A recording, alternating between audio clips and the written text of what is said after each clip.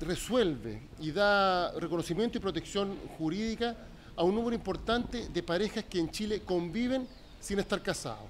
y establece un marco regulatorio tanto para parejas del mismo sexo como de distintos sexos.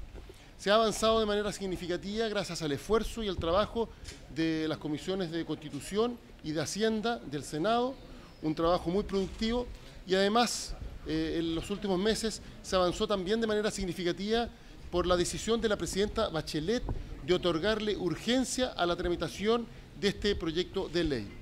Ahora continuaremos su trámite en, la Cámara de Diputados y vamos a mantener la urgencia legislativa para que avancemos de manera sostenida en un marco regulatorio para las parejas que conviven en nuestro país.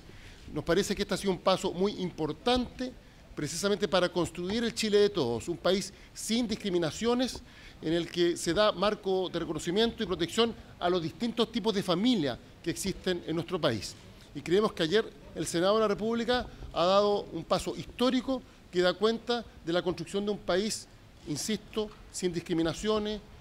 más igualitario, con, menos desigualdades, eh, un país en el que se expresa la diversidad como la principal riqueza de nuestra sociedad. Y la presidenta Bachelet ha recibido ahora el informe de la comisión eh, encargada de generar propuestas para un nuevo modelo y marco jurídico del sistema privado de salud.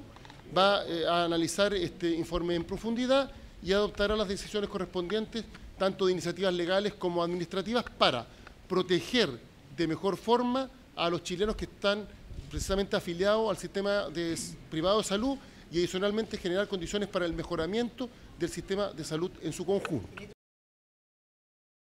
Las decisiones sobre la materia